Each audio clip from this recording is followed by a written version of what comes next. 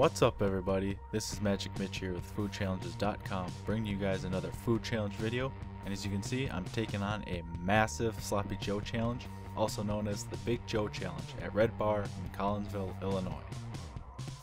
Now for this challenge I had 30 minutes to finish this huge Sloppy Joe which had about 3 pounds of Sloppy Joe meat in it and about 2 pounds of either their regular fries or sweet potato fries. Since I enjoy sweet potatoes more, I went with those and it was also my first food challenge with sweet potato fries, so I was definitely looking forward to the experience. The uh, container that you see there with the uh, sauce in it was not part of the challenge, was not required, but it was just there in case I needed something to uh, change up the flavor during my challenge.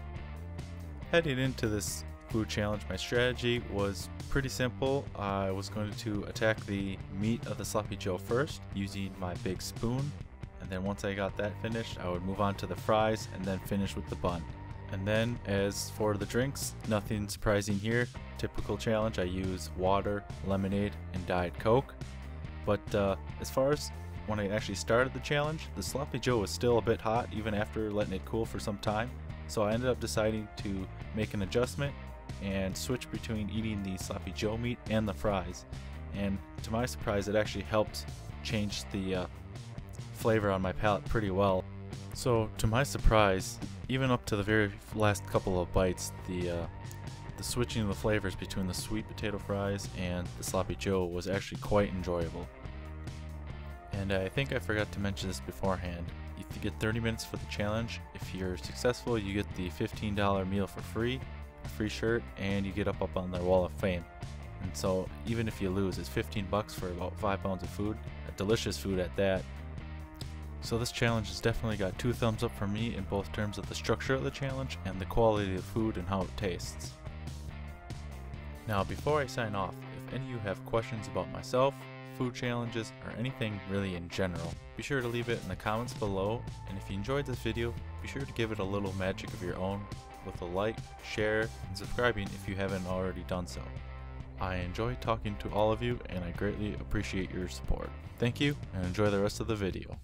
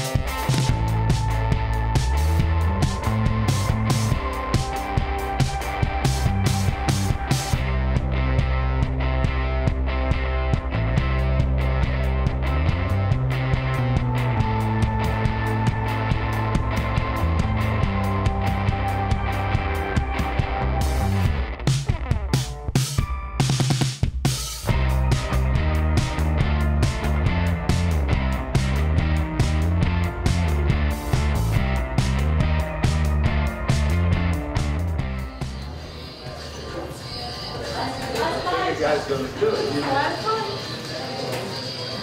There it is.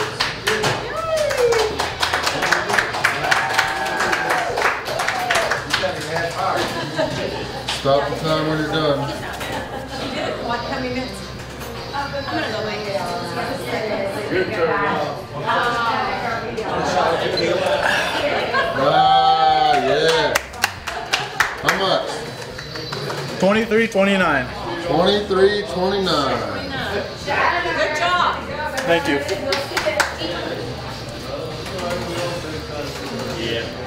There it is.